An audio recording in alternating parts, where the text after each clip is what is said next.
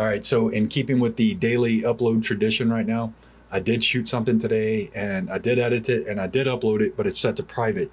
And it was an insurance documentation video.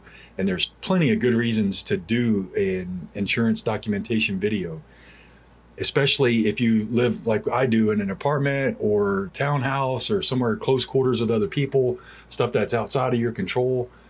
Um, just having that documentation and especially like with YouTube or something where you can set it to private and you can get it like store it off site, right? So if something happens here, there's a docu there's documentation outside of here that, you know, I had these things or whatever.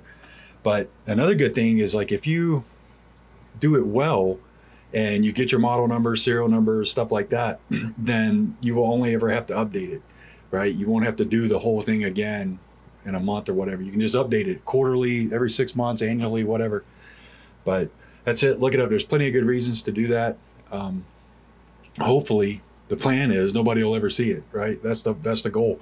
But still a good idea to make one. It's been on my mind since I started this channel, and especially with the fire that happened, you know, just right across the street there, kind of made me think I really needed to do that.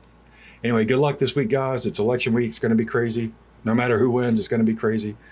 And hopefully, this provided you with a little bit of motivation to do something that we should all be doing. Take care. Peace.